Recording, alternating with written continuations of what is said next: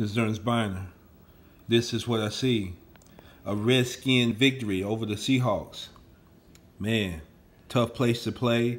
Tough place to get off on the ball at the same time. But they all do. Good communication, excellent communication, excellent job of getting off uh, on on the snap. Excellent job. I mean, you look at this. This is the first step that they're taking, and everybody is in in in uh, in unison as far as the step is concerned. Now, this is what I, this is what I see. I like the the track that uh, that Fat Rob has. Okay, linemen are getting on the on, on their good tracks.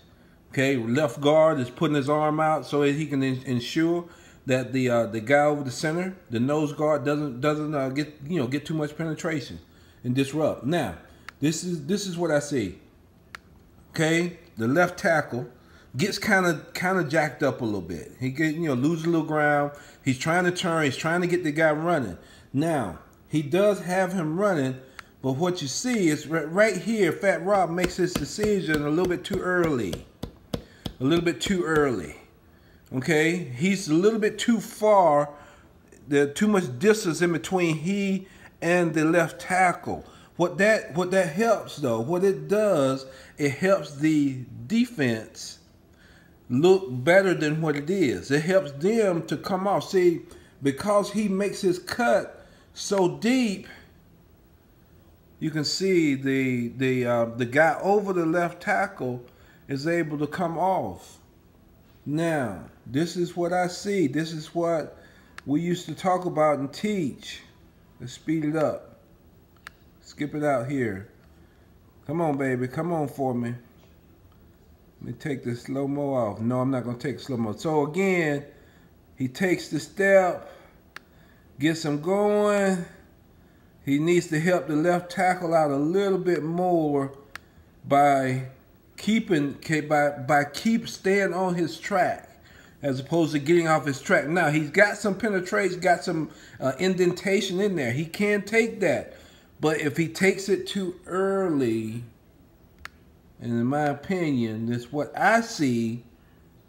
If he takes it later and pushes it more, then he keeps the the guy over the tackle going, and he helps the tackle. Right here, to me, he's helping the defense be a little bit better by taking this a little bit too early. His eyes, and what I used to tell my guys, to train your eyes. Train your eyes so that you don't take your eyes off of what you should be looking at too early. If you do that, then you help the defense. Help your lineman a little bit more, Fat Rob. Good job. This is what I see. Hell to the Redskins.